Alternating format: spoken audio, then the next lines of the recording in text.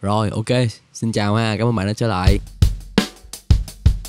Trong cái series mình sẽ vận dụng kiến thức của mình về hình ảnh Để mà hỗ trợ bạn bè của mình Làm sao có thể tận dụng được cái không gian, những cái thiết bị tối thiểu mà bạn có Để tạo được cái chất lượng hình ảnh tốt nhất trong cái hoàn cảnh của bạn này á, thì bạn ấy thích setup được một cái không gian để bạn có thể hát cover cái ngày đầu tiên mình đi khảo sát tại nhà bạn ấy thì mình nhận thấy là cái căn phòng của bạn ấy hơi bị nhỏ. Mình xin được một cái mặt bằng của cái căn chung cư của bạn ấy. Mình ước lượng là cái căn phòng của bạn ấy đâu đó khoảng chừng 3 x 3 mét thôi. Khi mình bước vào cái cửa thì đối diện cái cửa mình thấy ngay là có những cái tranh bạn ấy treo và những cái đèn đốm đốm rất là đẹp suy nghĩ ngay là biết đâu có thể set cái góc quay chỉ thẳng vô cái bức tường này. Nhưng mà mình nhanh chóng nhận ra là nó hơi bị hẹp đó mọi người không có cái khoảng lùi. Rồi mình nhìn chéo góc của căn phòng, mình thấy là nó có một cái chiều sâu. Thì mình sẽ thử nghiệm đặt một cái góc máy ở phía góc này của căn phòng để chĩa qua góc đó, thì sau mình cho bạn ấy đứng vào. Thì nhờ đó bạn có thể khai thác được tối đa cái độ xóa phông của ống kính nói chung là background càng xa thì nó sẽ càng xóa phông nhiều. Khi mà nói về xóa phông thì chúng ta không thể nào không nói về cái ống kính. Thì trong trường hợp này bạn sử dụng cái ống kit là một cái ống cơ bản. Khẩu rất là bé, từ 3.5 tới 5.6 thôi.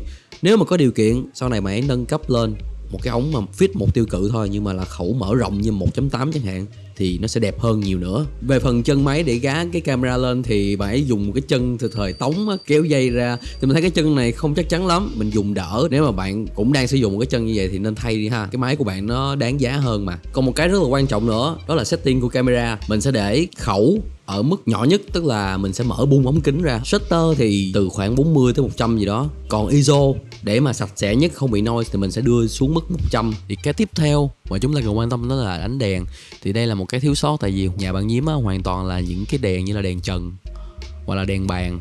Thì nó thiếu một cái cây đèn để mà thực sự có thể quay phim để mà tạo cái ánh sáng mịn cho khuôn mặt. Thì lúc đó mình khuyên máy lên đầu tư. Thì cái chữ đầu tư nó hơi nhạy cảm, tại vì đối với những người chuyên như mình á, thì mình sẵn sàng mình bỏ những cái tiền lớn để mình mua. Bình thường á, thì người ta không muốn bỏ quá nhiều tiền cho nó. Cho nên là mình đã khuyên máy lên trên shopee và mới mua được một cái bộ cực kỳ rẻ luôn. Hai ba trăm ngàn gì đó, gồm có cả chân đèn softbox lẫn đèn luôn. Thì đây là dạng mà bạn gắn một cái bóng đèn ở bên trong một cái softbox thì cái softbox nhiệm vụ đó là để nó tản cái ánh sáng nó rộng ra để cho nó mịn. Thì mình mới đặt cái ánh sáng đó ở camera phải, ở góc bên phải của cái máy ảnh, mình chĩa vào để mà nó lấy ánh sáng phía bên phải khuôn mặt của bạn đó. Thì sau khi mà mình check xong mình thấy là nó hơi bị tối, tại vì nó chỉ có cái đèn cho đó thôi. Mình mới có ý tưởng là mình tận dụng một cái đèn bàn giống như mình đang làm ngay bây giờ nè. Thì cái đèn bàn của bạn nhím á mình cho là ở phía bên trái đánh qua và nó nằm ở xa để mà nó ra cái đường viền. Đây còn đây là mình tắt mở cái đèn rim light để bạn có thể cảm nhận được là tác dụng của nó như thế nào ha. Những cái ưu tiên trong cái việc đánh đèn là đầu tiên mà phải đánh đèn cho con người trước. Thì đã có cái key light đánh qua một cái softbox từ bên phải đánh qua rồi.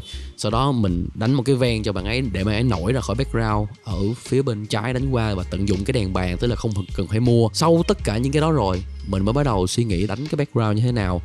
Thì tận dụng những cái đèn đom đóm, mình còn khuyên bạn ấy là kéo một cái đèn trang trí ngoài phòng khách vào để ở góc căn phòng, để nó sáng cái góc đó lên. Nó thấy được những cái chi tiết của cái tấm màn thì tự nhiên nó tạo ra được một cái chiều sâu cho khung hình. Thì sau khi mà tăng chỉnh tới lui á từ một cái mình khảo sát ban đầu cái thành quả cuối cùng tụi mình đạt được là như thế này. Rồi thì video này cũng ngắn gọn giống như là video tập số 1 thôi. Mình sẽ còn làm những cái series này nữa Và nó sẽ xen lẫn như vậy những cái content khác của mình. Ok, cảm ơn bạn đã xem hết video. Hẹn gặp lại bạn trong những video lần sau.